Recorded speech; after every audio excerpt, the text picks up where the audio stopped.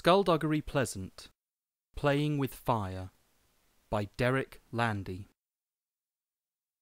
Chapter 1 Hanging Around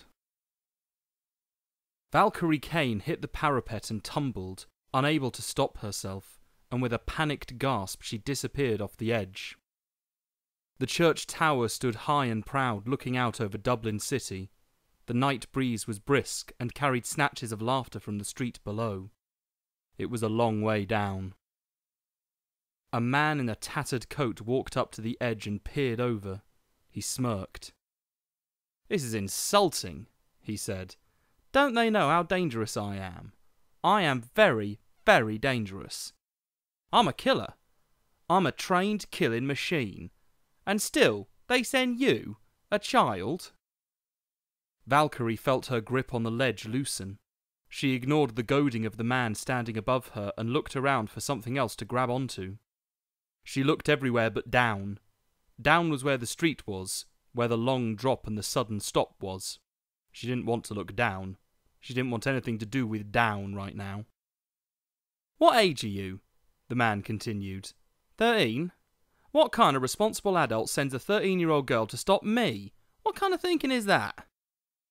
Valkyrie swung herself gently towards the tower, planting her feet against a small buttress. The fear started to work through her, and she felt herself freeze up. She closed her eyes against the oncoming wave of paralysis. The man was Vaurien Scapegrace, currently wanted in five countries for various counts of attempted murder.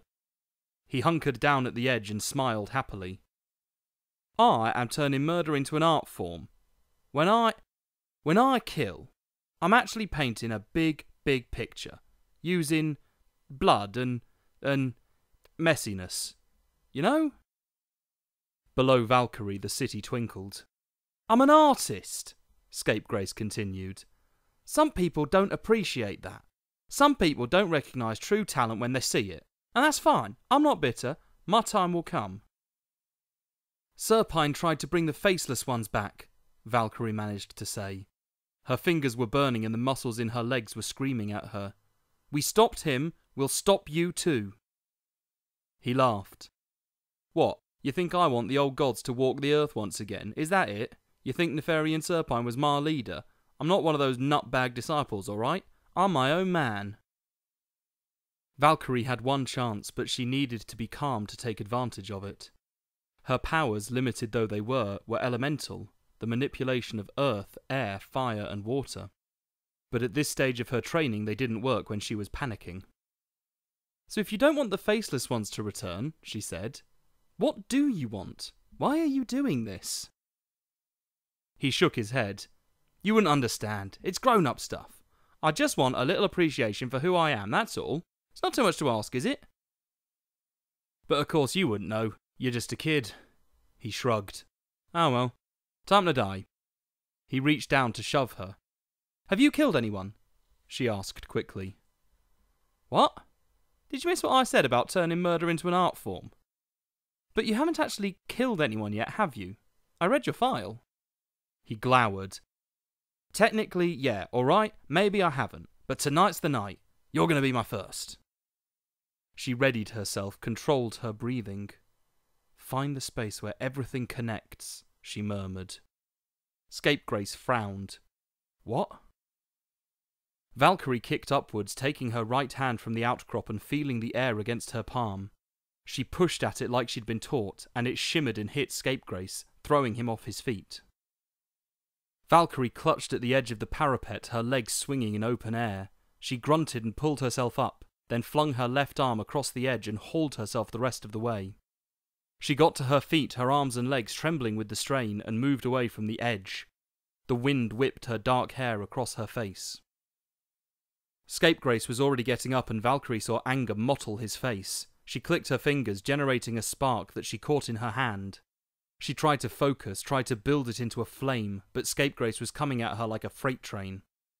Valkyrie jumped and thrust out both feet. Her boot slammed into his chest and he hit the ground again and went sprawling. He turned to her just as she lashed a kick into his jaw. His body twisted and he tumbled back, came up to his feet, then lost his balance, fell again. He spat blood and glared. You little brat, he snarled. You uppity, sneaky little brat. You don't know who you're messing with, do you? I am going to be the greatest killer the world has ever known. He stood up slowly, wiping his sleeve across his burst lip. When I'm finished with you, I'm going to deliver your mutilated, bloody corpse to your masters as a warning. They sent you up against me alone. Next time they're going to have to send a battalion. Valkyrie smiled and Scapegrace's anger flared. What the hell is so funny? First of all, she said, her confidence growing, they're not my masters. I don't have a master. Second, they don't need a battalion to take you down. And third, and this really is the most important point, whoever said I came alone? Scapegrace frowned, turned, saw someone walking up behind him, a skeleton in a black suit, and he tried to attack, but a gloved fist hit his face, a foot hit his shin, and an elbow slammed into his chest. He fell in an awkward heap. Skulduggery Pleasant turned to Valkyrie. You all right? I'll kill you both, Scapegrace howled. Hush, Skulduggery said. Scapegrace launched himself forward, and Skulduggery moved into him, grabbed his outstretched arm, and spun him around, then abruptly cut him off by slamming a forearm into his throat. Scapegrace flipped in mid-air, landed painfully. Skulduggery turned to Valkyrie again. I'm okay, she said. Really. Scapegrace had his hands to his face.